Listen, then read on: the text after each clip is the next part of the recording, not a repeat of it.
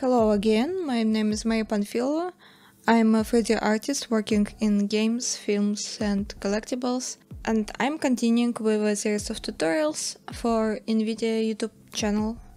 So we imported our model and also imported normal map from ZBrush for the stack, and uh, we need to bake all other maps. I should mention that this uh, character is not game character, but a cinematic character, and I should explain the difference. We have two types uh, of characters that we can do. Uh, one type is for game engine, uh, for example, Unreal Engine, Unity, Marmoset Toolbag, and um, the second type is for pre-rendered uh, characters uh, for cinematics. Uh, and we can render it in V-Ray, Redshift, Arnold, and other renders and the pipeline uh, will be different uh, both in uh, wireframe and in textures and maps uh, baking.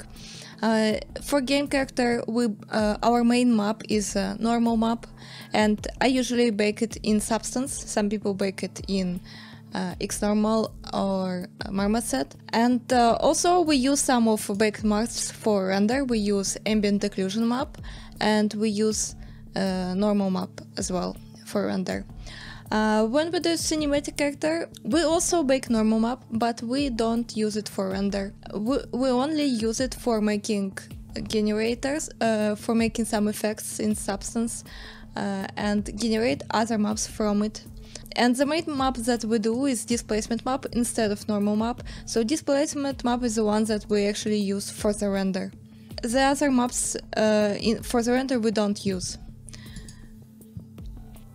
what it means that the, the main difference that in one case I bake normal map in Substance and on the other case I bake normal map in ZBrush because it's just easier to do and faster. And for all other maps I'm not uh, worried too much about the quality of it because the maps won't be used in the render. We just uh, it's just a secondary map for some effects, so the quality need for for this is not uh, such uh, important for us. Let's take a look at the settings that I need to change to bake the maps. Uh, first one is output size. By default, it's uh, 5012. Uh, what size should I have? It depends on what the size of texture will be.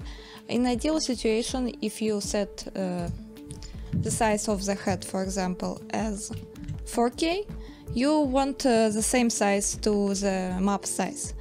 Um, but the problem is if you bake everything as 4K, uh, the, the, we have a lot of maps and we have a lot of UDIMs and the size of the scene will be enormously big. Mm, because of that, we need to optimize. Mm, I did an experiment and uh, baked curvature maps map on 4K and 8K, and just wanted to compare the difference. So on the right it's 8K map, on the left it's 4K, and um, I want to see if there mm, if they're worth making uh, 8K or 4K is enough. Uh, so if I zoom in close to the nose, uh, I can see the difference that it's really visible that 8K is uh, more detailed, more clear. Uh, there's less noise that we see. Uh, but in my opinion, the difference is not that huge, so I can go with 4K and I think it will be enough. Uh, for curvature, uh, world space normal and ambient occlusion, uh, I would I would set 4K, but for position and thickness, I would set 2K to optimize it even better, because position and thickness map are even more second secondary and they're not having too much details and 2K will be enough. Uh, but uh, we can always rebake it. Let's uh, just start with 4 and check what maps do we need. We don't need normal because we already have it. We need all other maps and we don't need ID because we're not working with ID maps. Uh, what else do I need to change? I skip this place as I mentioned before. Uh, usually you put high poly here and you use high poly to bake normal maps. All other maps don't actually need high poly. Uh, they're being uh, they're baked uh, using uh, our mesh and also normal map. So it's all you need to have for bake other maps. In ambient occlusion, I uh, go to self occlusion and hit only same mesh name. Uh, in some cases, uh, you can hit all this, and uh, if you do that, uh, then between, uh, for example, between your dress and body will be a shadow, so different object will cast shadows to each other. But I don't want this effect, so I just hit only same mesh name. Uh, I hit apply to all, so my changes that I made for only one map will apply to all other maps. So don't forget to uh, push this button if you want to apply it for each UDIM. Uh, for curvature, by default, uh, the level of details is 0.5 and I want to show you uh, the difference. Uh, I usually decrease it either to 0.2 or 0.1 so let's see how it looks. So this is 02 map and this is uh, 05. And you see that 02 map is having less contrast. And if we zoom in, uh, we can see that it's easier for us to notice more details within 02 maps and uh, the contrast of 05 map is uh, too harsh and everything is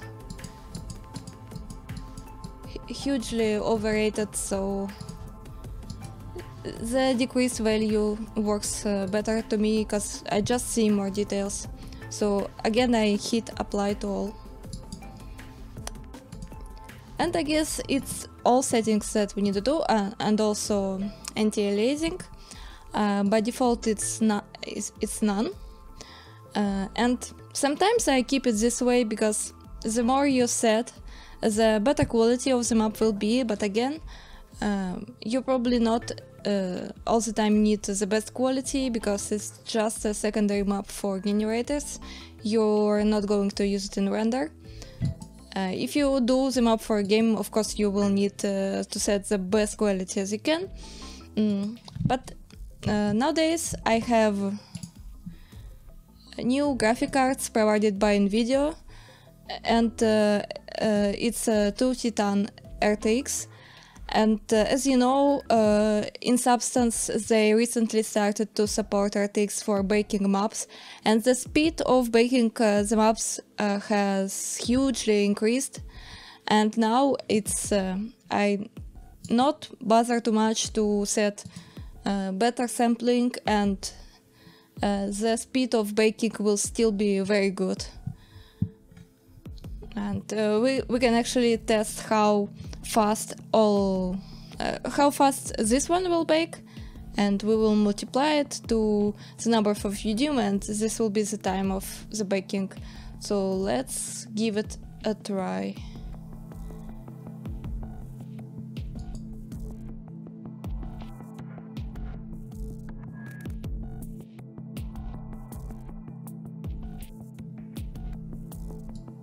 So it took uh, me around uh, 40 seconds to bake one UDIM and we actually need to bake all others so uh, to, to, do, to do them all I just uh, hit bake all texture sets. And it automatically will bake everything for us. Now all UDIMs have its own bakes and we can check the bags by hitting B keyboard and switch between and uh, at the top corner top right corner uh, you see the name of the map and can check how everything works. The size now is 4k that we see. Um, but for some objects I don't need maps for this hair uh, I will delete them because I won't be using them. Same way for the eyes. I don't need these maps. Delete them as well. For temporary hair same thing. Don't need those. Just uh, making the just optimizing the scene a little when I delete some textures uh, it stays on the scene and if I want delete it completely I go to file clean and by doing that I delete all unused textures and other elements from the file. And now I can save it.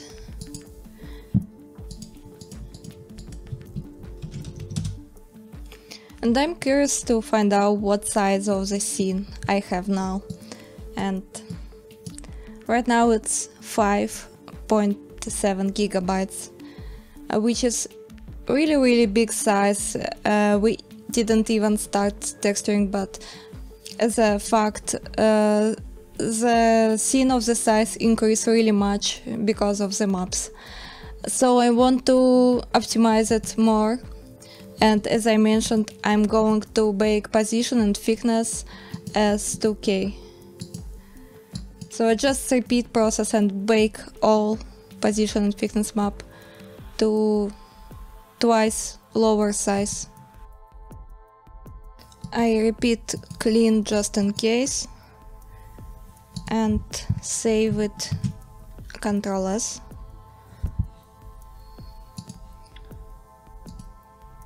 And let's check how the size changed. So it, it used to be 5.7 gigabytes, now it's 3.7, which is much much better and uh, I'm happier about the size now. Uh, as you can uh, see in my finished texturing uh, scene, the file is 508, which is more or less okay. It's not perfect, but enough comfortable. And at the beginning, after baking mass is 3.7, which is also fine. So the baking is done which can what we can do also we can check uh, how the seam how the seams between UDIMs looks like if there are any problems in between UDIMs but it seems everything is fine. And I'm I'm happy about the result. And we can continue with texturing. And I'm really happy about the improvement of baking speed, it's going much smoother now. And I can uh, by default uh, have uh, better quality without worrying about the speed. So re really happy to have RTX, uh, thank you NVIDIA very much for uh, providing this because now realizing that having 24 gigs in each card and using it together for texturing is just a huge improvement for texturing speed. Before I couldn't paint in 4K often and now I can and the texturing itself uh, became a much more pleasant experience.